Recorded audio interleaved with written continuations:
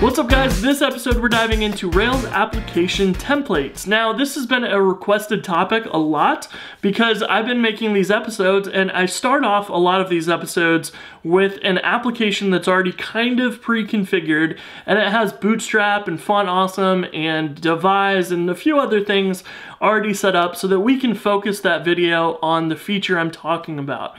And so this episode, I'm gonna walk you through how I set up those applications and give you that template so that you can set up your applications using this as well. So what I'm using is a Rails application template, and these are basically just Ruby scripts that you pass in when you create a new Rails app.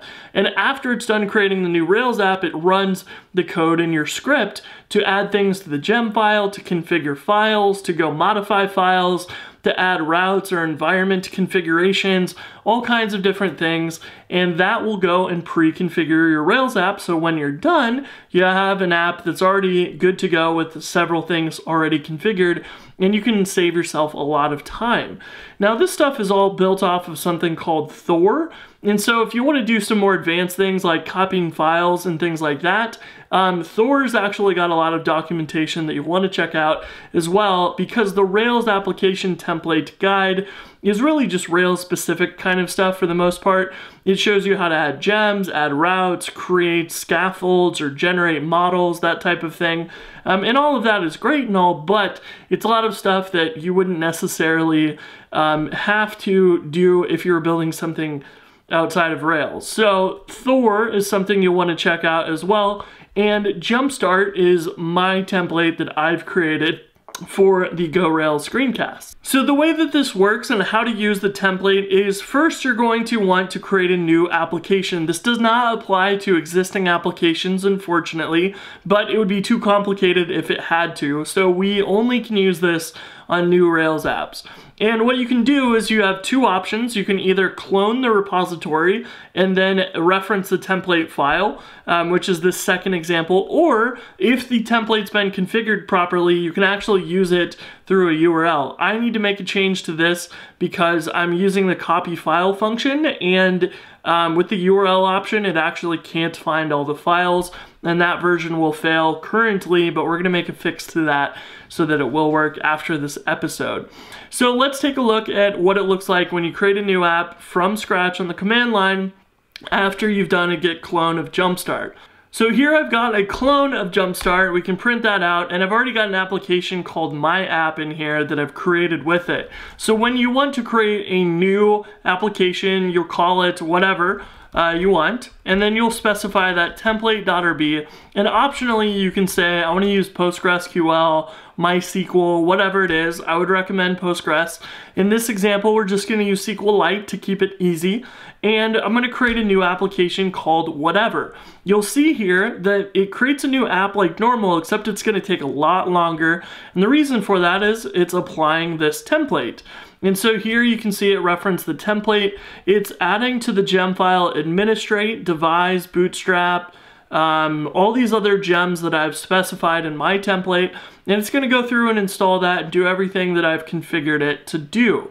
So once this is done, we'll have a brand new Rails application with all that stuff pre-configured for us and we can just dive into using it.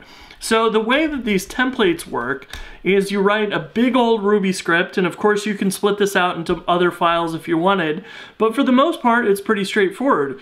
I created and organized functions to do different things like add gems, add the user model, and some other configuration related to users.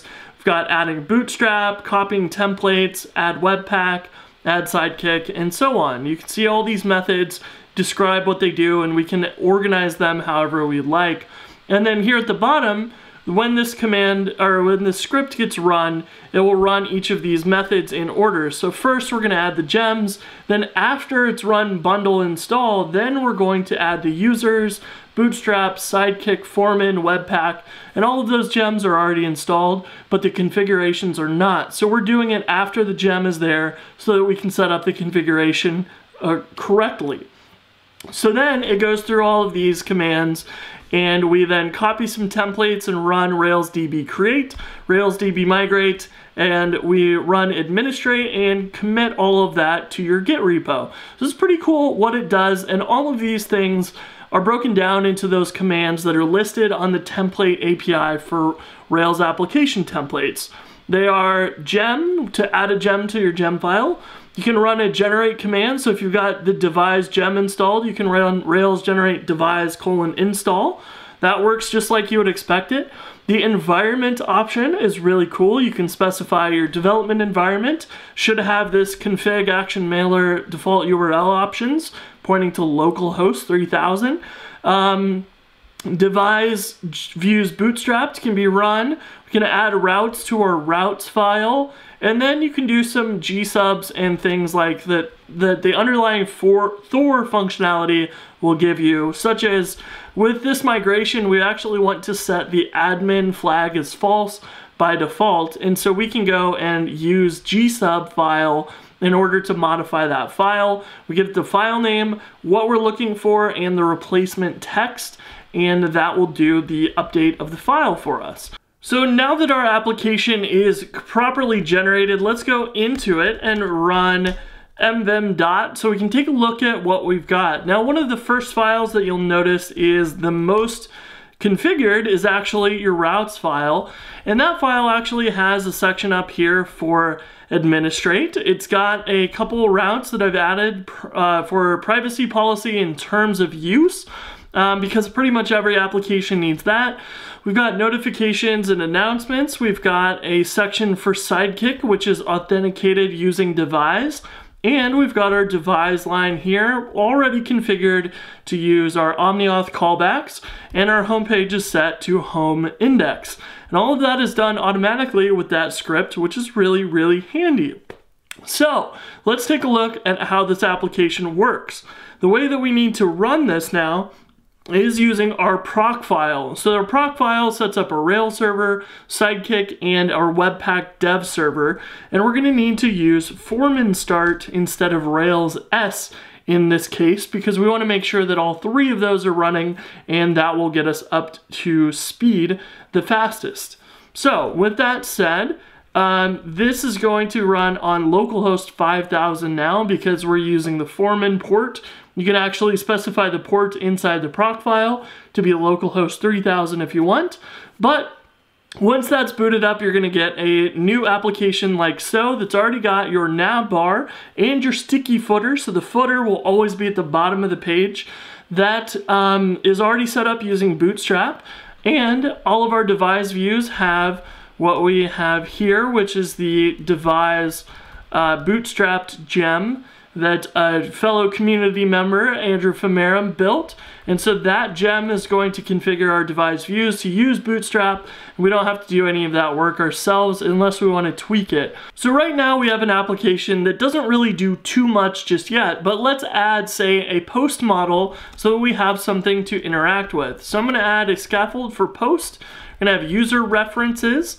We're going to have a title and a body and we're going to add this to our application so you can see just how quickly we can get up to speed with something like this. So we'll run RailsDB migrate. We'll go to our routes file. We're going to take this resources post and we're just gonna move this down here to the bottom and then we'll change that to post index as the root route and that way we'll see posts automatically on the home page.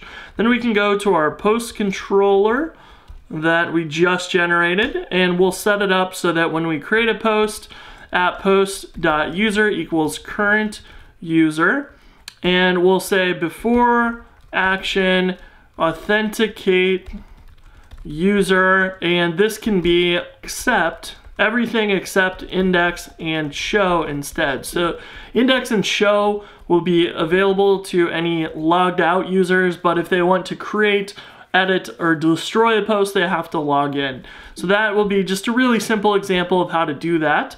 Then we can go to our application and we'll see that we now have post here. Um, we'll not fill out the user there. So let's go to the post form and let's get rid of that user section. Then we can go replace these with form group, form group, and form group.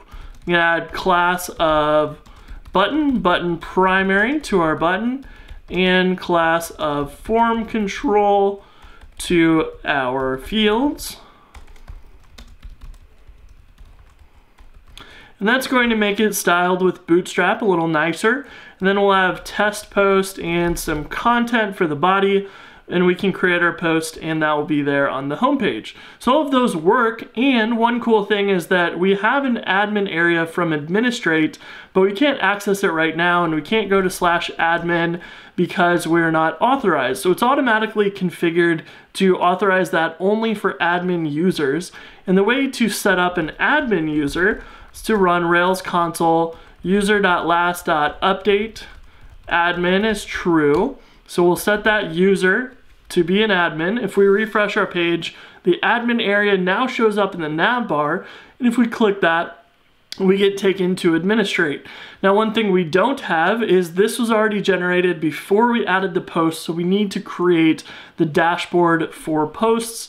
And so we can do that by running Rails G administrate dashboard post.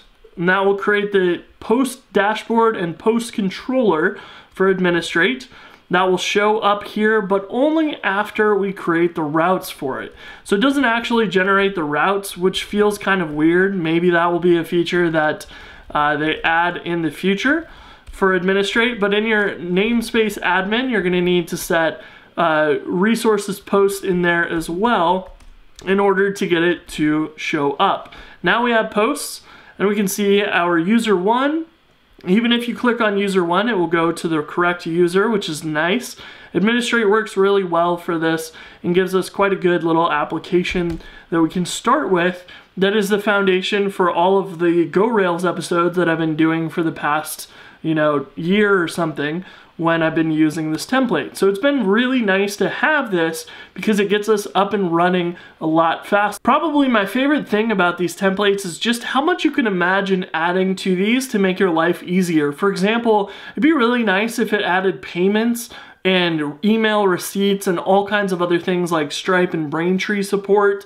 Um, you can just imagine a lot of other things being built into this and having that automatically ready to go as soon as you create your new application. Maybe even including something like Ahoy or Segment.io so that you could add analytics to your application. That would be incredibly cool. But even if it was as simple as adding overrides to your templates for scaffolds where they automatically would come out with bootstrap designs like the form here or it redesigned the index page so it used nicer bootstrap um, layouts or UI, that even would be a huge improvement that could save a lot of time on building new applications. So with these templates, you can go as far as you want or even minimal and you will still save a lot of time. So that is it for this episode. I'll include links to Jumpstart in the notes below. So if you want to add this to your Rails apps or you want to contribute to it or just check out how it works, it'll be listed in the links below as well as links to the Rails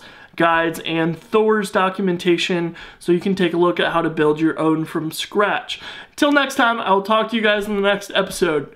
Peace.